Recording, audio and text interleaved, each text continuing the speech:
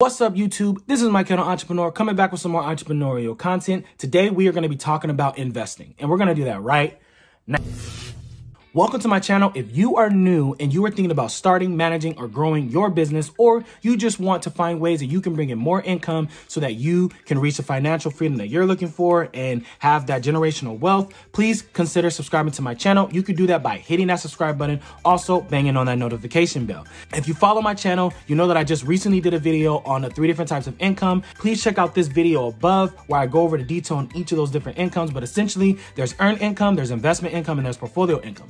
As of right now, as of today, I actually have income coming in through all three of those different income sources. So I do have a job. I also have a business, which is going into my investments. So I'm actually making money out of my investments. And then third, I just recently started to invest in a portfolio. So I have around 30 different stocks and I did it individually. I didn't go in and buy an index fund uh, or a REIT or anything like that. Uh, if you have not read the book, Rich Dad Poor Dad, I'll actually link it down in the description below. It is an affiliate link. So uh, you will not be charged any additional fees or anything for it, but it will help support this channel so I can continue to do this. I love doing this, so it'll help me a lot on this channel. But essentially, in Rich Dad Poor Dad, you want to acquire assets that actually bring you income. And that is what this is teaching you. I think eventually, if you want to reach the financial freedom that you're looking for, you cannot have 95% or 100% of your income coming through the earned income column. You need to actually subsidize that and have it come from your investments and have it come from your portfolio because when you do that, then you're actually going to be ultimately freeing up your time. You'll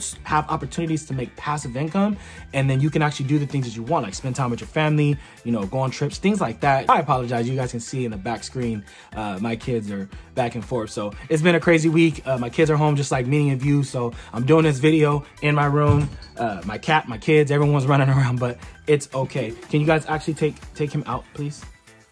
I'm gonna give you the why, the when, and the how to investing. Why? Why do you want to invest? I kind of talked about that right now, but essentially, you want to invest because you're trying to build long term investments that can actually go into your portfolio uh, so that it can build your assets. Eh, you know, you can have money uh, in the future. You know, let's say in your portfolio, you own around 60 shares, and over the next 10 years, they appreciate uh, 12 to 15 percent that could be a lot of money. That could be money that you could take out as a dividend or you can sell them. You can use them to you know, down payment for a house, all those different things. But at the end of the day, that money is sitting there and it has a potential to make you money, especially if you invest in the right businesses. You don't want to invest money that you are going to miss. You want to make sure that the money that you're investing is money that you can live without. So when should you invest? When is right now. And I think that there's always opportunities for you know, you to start investing. Warren Buffett is by far the, the greatest investor of all time. He's built billions of dollars in wealth off of investing. But essentially, you want to buy when everything is scarce. And that may sound backwards or ass backwards to be honest with you but essentially you want to buy cheap and when you buy cheap that means people are afraid people are scared the thing about the stock market is it's very fickle it's very volatile. So uh, some businesses are doing well in one second and then it just goes back and forth. And for the most part, that is based on human emotions. Uh, sometimes it's not based on the actual business itself. It could be something in social media or whatever the case may be. If you're looking at a business and you know that they actually can bounce back and their stocks are low and it's a good buy, then you be a little bit more aggressive at purchasing those stocks because the rule of the game is the more stocks that you own in a business, when they actually start to be more profitable, you make more money. So instead of you making 2% on $2, let's say you make 2% on $1,000 or you make 2% on $300, that's when you really start seeing that money work for you.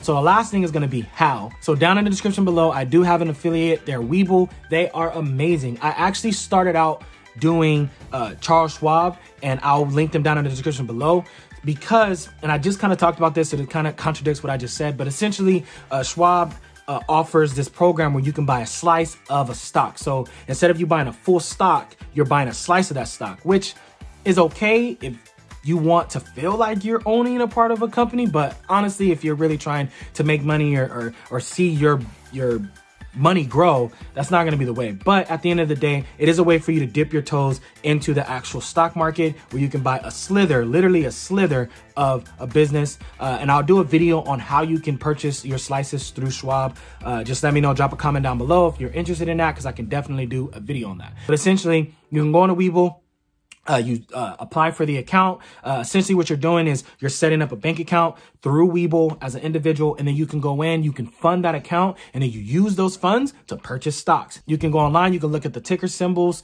of the different businesses that you want to invest in. There's also other different types of investments that you can do. So you can do an index fund, mutual funds, there's REITs, so many different things. If you guys like this video, please give it a thumbs up. If you learned something, please give it a thumbs up. Uh, also, if you have not, talked about it all the time in this video, please subscribe to my channel so I can continue to do this and I'll see you guys in the next video.